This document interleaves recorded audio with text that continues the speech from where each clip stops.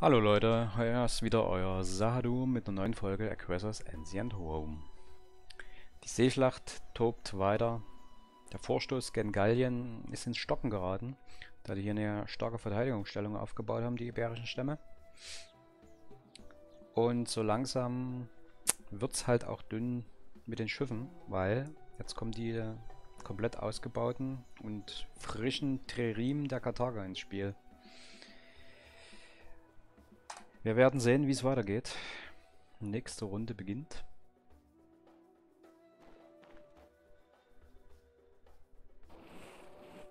Und da haben wir schon so eine frische, tririmische Flotte, die gegen eine frische Galeere von uns kämpft. Ja. Wir verlieren 3600 Mann, die Gegner 2800.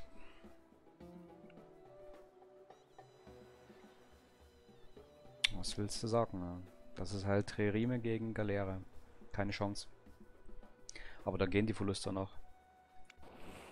Ja, da kommt die nächste. Ja, das war's dann für unsere Galeere.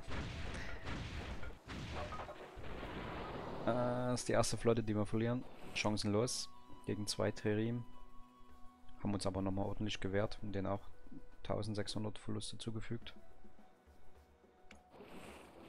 Boah, die haben drei, drei Tririm-Flotten. Verdammter Mist. Also, die wir jetzt zu Gesicht bekommen haben. Kann sein, dass sie noch irgendwo anders noch mehr haben.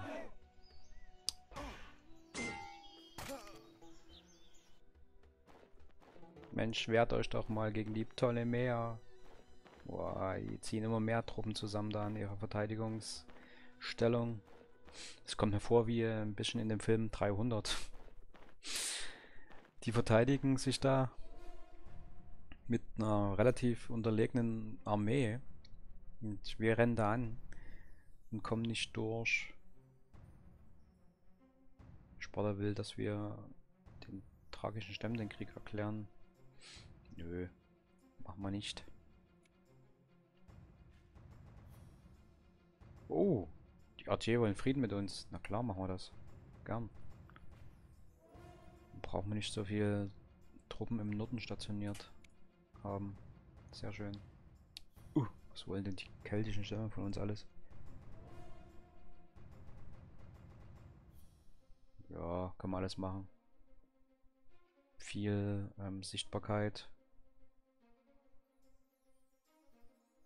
Hm, dass die halt ähm, Unterstützung bekommen, wenn die durch unser Territorium rennen?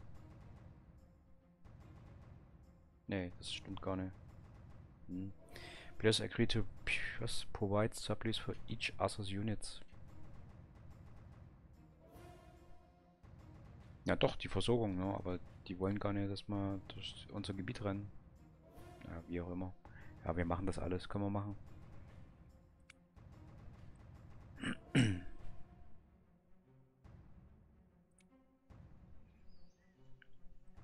Gut. Die Einheit weiter ausheilen. Wenn wir die reinziehen, können wir denen auch noch ein besseres Heilung geben. Ja, wir ziehen die rein. Für die nächste Runde dann. Hier wollten wir eine Stadt gründen. Nikaea. Hm? Ja, Nikaea. Oh. Was haben wir jetzt erreicht? Ein Zwischenziel? Nee oder?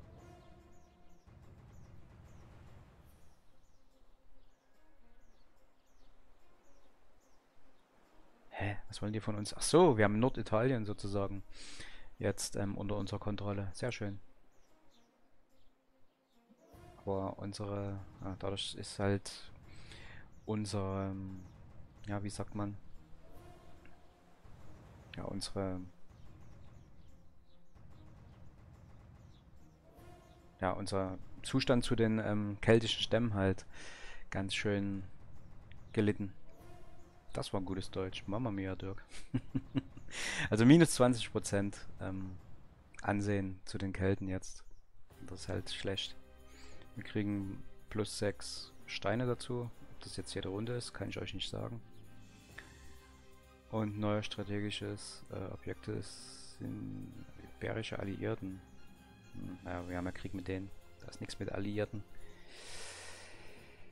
Die äh, Truppe ist halt auch komplett durch.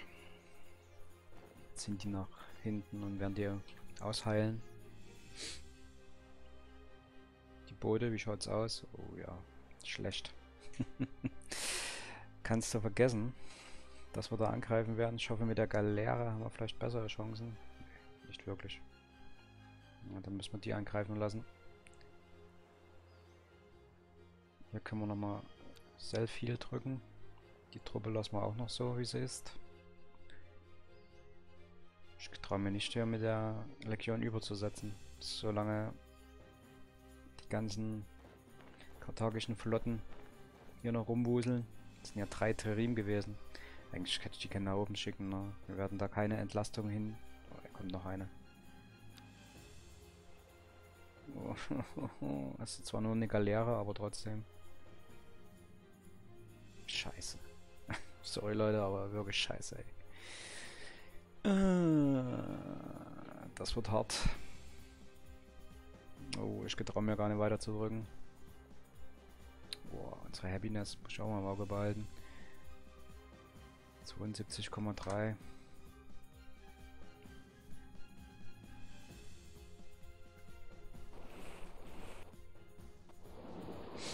Wehrt euch!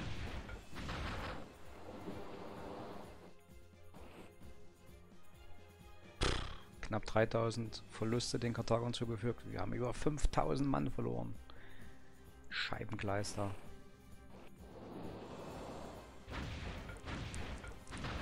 Wehrt euch. Ja, die brennt schon. Die Tririme. Sieg. Sehr gut. Ja, jetzt geben wir uns den Rest da. Wehrt euch aber nochmal. Ja, da geht die nächste Flotte unter von uns. Boah, sind das Verluste. Massaker. Krass, krass, krass. Aber die haben auch nochmal ordentlich was verloren. Da kommt noch eine Galeere.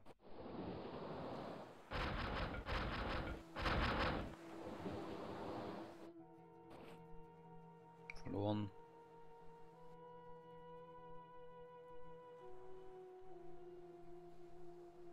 Aber wir haben den paar Verluste mehr zugefügt.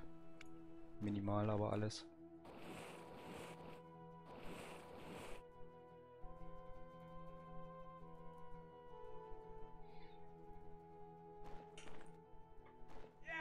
Die AJ gehen weiter gegen die Kelten vor.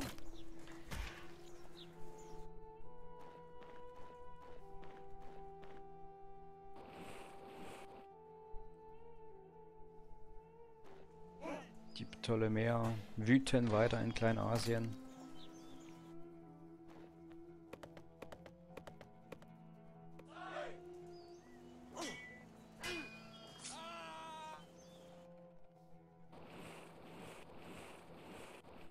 Das sind auch die Tririm. Die Superschiffe der Antike. Boah, die schicken immer mehr Truppen nach Kleinasien.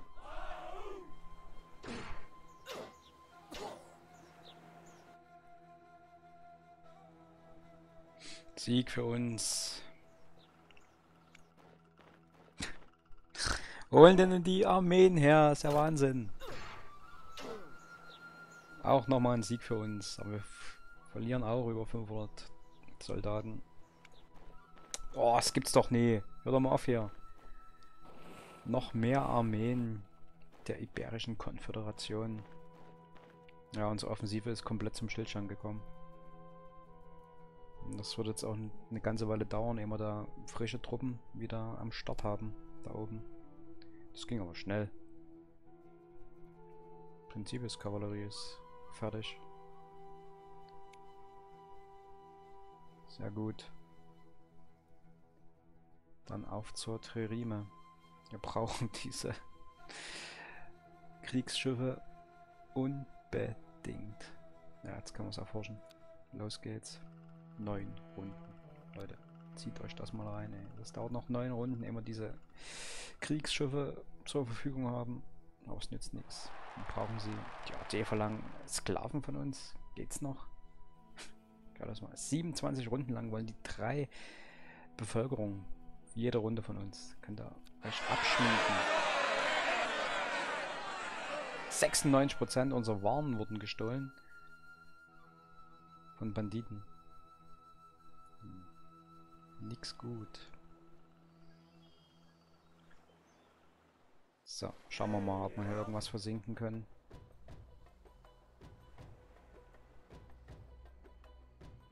Durchschnittliche Chancen hier oben haben wir totale Überlegenheit.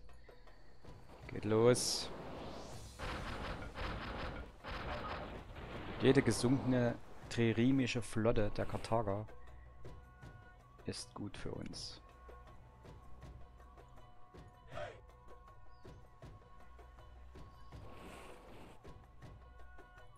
Ausgeglichene Chancen, wir greifen an.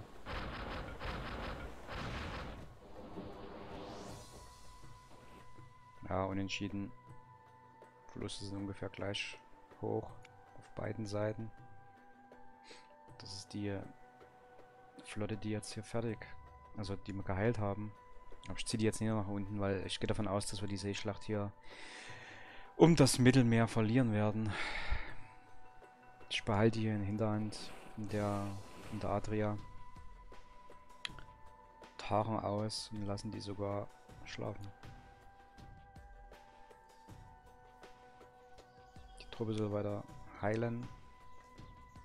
Wir wollen ja hier oben dann schnell wieder eine Armee an den Start bekommen, damit wir weiter gegen Marseille vorgehen können. Die Truppe muss trainiert werden. Das sind die Hilfsarmeen.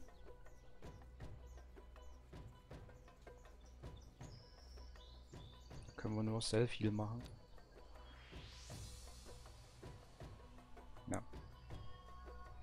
Die Legion kann ich nach oben ziehen. Wir kommen da jetzt leider nicht mehr drüber. Über die Meerenge zwischen Italien, zwischen dem Stiefel und Sizilien.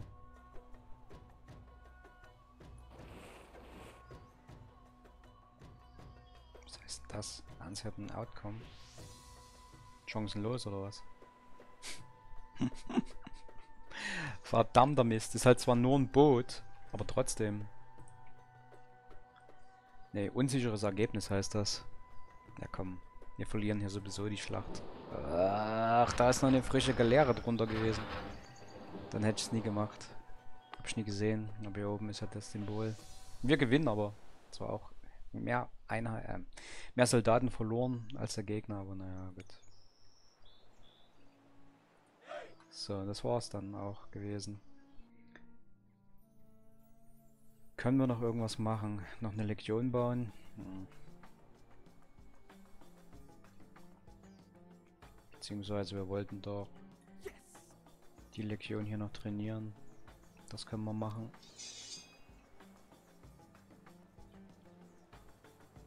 Ja, müssen auch ein bisschen Gold sparen. Ja, wobei, neun Runden, na, das dauert schon eine Weile. Ehe wir dann unsere Trerim endlich, endlich Trerim dann mal bauen können.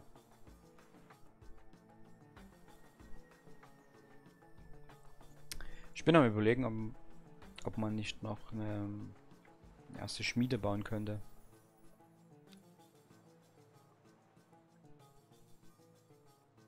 Ja, könnte man schon machen. Ah, das ist schön. Das wird dann so angezeigt. Was das für ein Umkreis alles hat. Also wenn, dann wollen wir schon versuchen, hier unten diese Mine noch mit hineinzubekommen. 1, 2, 3, 4, 5. Das wäre ein sehr schöner Standort.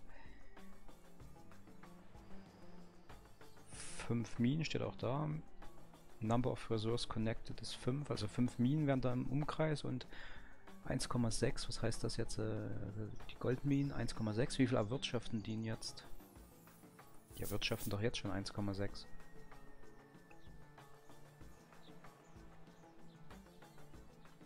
Müssen wir uns mal merken, also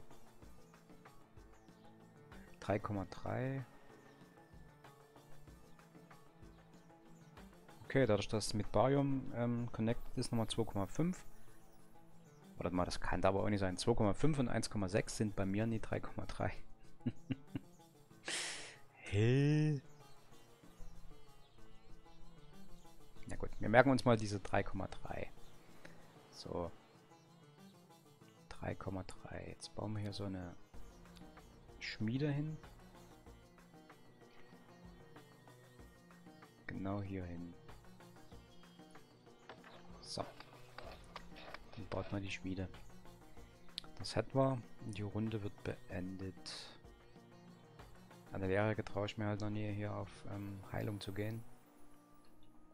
Das ist halt krass, ne? Es ist halt so, ein, so eine blöde Situation.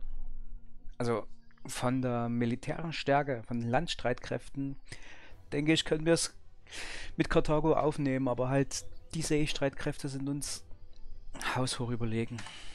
Und dadurch bekommen wir halt nach Korsika keine Ersatzkräfte und auch nach Sizilien keine.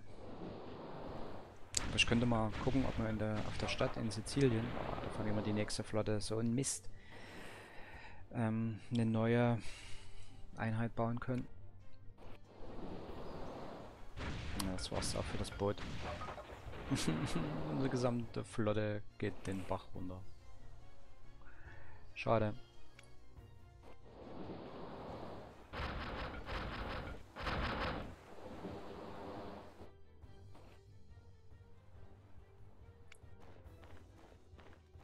Krass. Krass. Krass. Krass. Damit habe ich überhaupt nicht gerechnet. Jetzt landen die in Süditalien. Das ist ja heftig. Verdammter Mist. Karthago landet in Süditalien. Boah.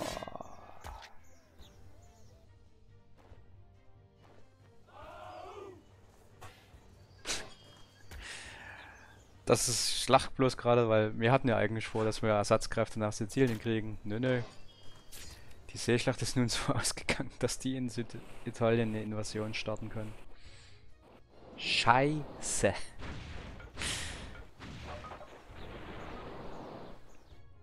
Die Ptolemäer zerlegen auch alles.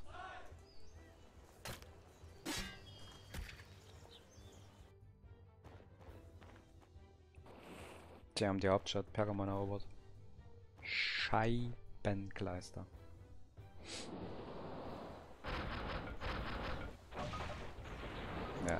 Da braucht er nie angreifen. Mit einem Boot gegen eine Terime. Na gut, ich greife noch mit dem zweiten, der zweiten Bootsflotte an.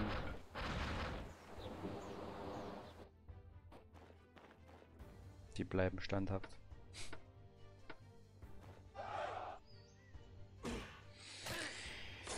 Das finde ich gut, dass die Kelten und die Artier sich behaken da oben. Haben wir wenigstens vor denen Ruhe.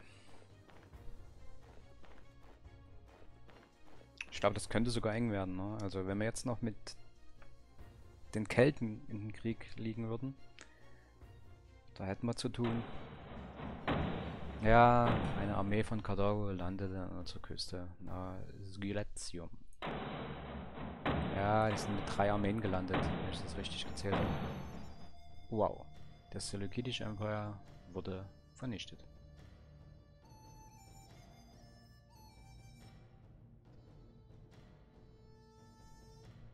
Werden die vernichtet? Messena. Moral ist gesunken.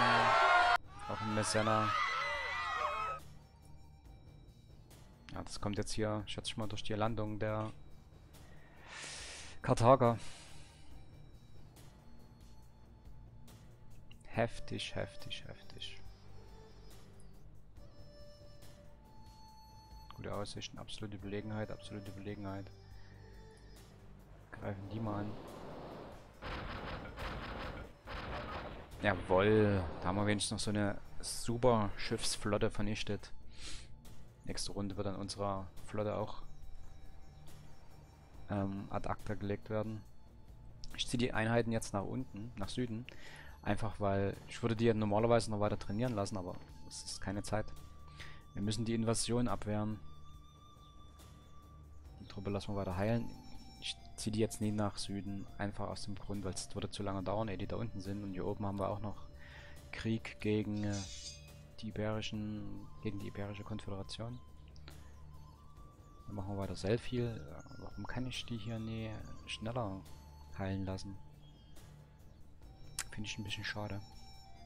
Ich schätze mal, weil ich in Ikea noch keine Spezifikationen gemacht habe.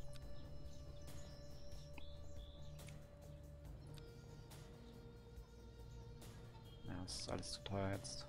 Aber bloß noch 30 Gold. Machen wir mal das Elfil. ja, bewegt euch dann nie nach oben. Bleibt schön hier standhaft.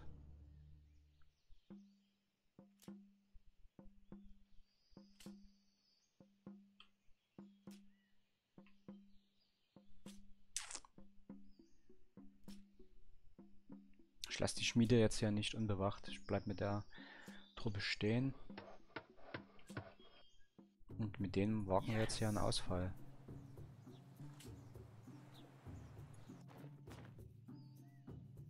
Oh, die Stadt ist sogar zerstört worden hier unten. Aha. Die Legion ist auch äh, nicht ganz ausgeheilt, aber äh, hier oben mit der Legion hinziehen will ich nie, weil wir kommen malus, wenn wir in die Wälder reinziehen.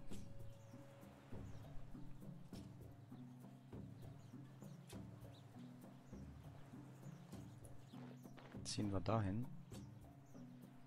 Mal schauen, was wir in Messena bauen können. Beltasten, ja, es ist okay. Wir brauchen wir brauchen Truppen auf Sizilien. Wow.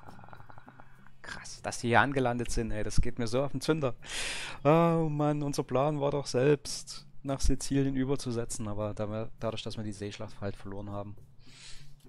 Wir konnten den Gegner zwar auch ein paar Verluste zufügen, aber wir haben deutlich mehr verloren diese super Tririm-Kriegsschiffe sind einfach zu krass. Leute, da war es das auch schon wieder mit der Runde und auch mit der Folge. Ich hoffe, es hat euch gefallen und genauso viel Spaß gemacht wie wir. Lasst mir gerne ein Däumchen nach oben da oder ein Abonnement. Und ich hoffe, wir sehen uns das nächste Mal, wenn es wieder heißt, uh, Doom zockt Aggressors and the Rome.